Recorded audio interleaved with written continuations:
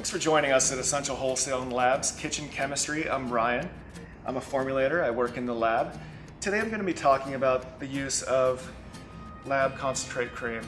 This is a very versatile product as it allows you to add up to 30% hydrosol, deionized water, extract, or tincture. With that being said, you can create your own custom cream or lotion.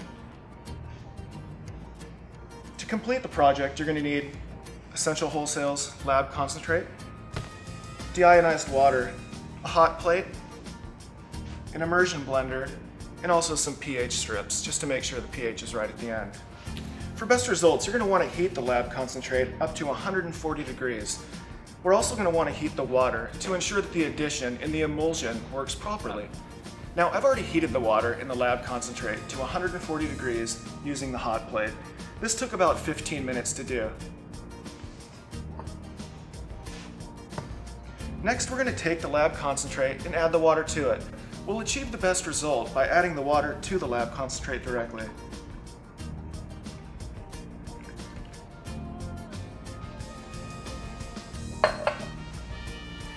Next, I'm going to use an immersion blender to high shear mix the product so that we get a stable emulsion.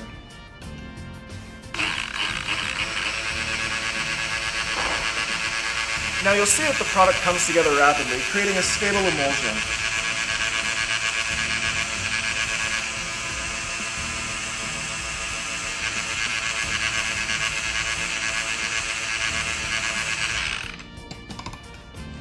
You can see from this demonstration that this only took about 30 seconds to mix one pound batches up.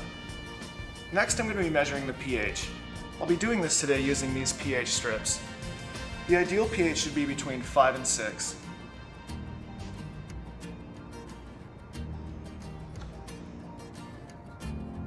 It looks like we have a pH of about 5, so we're good.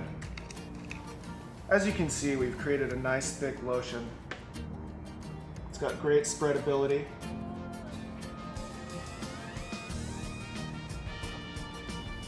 Thanks for joining us today.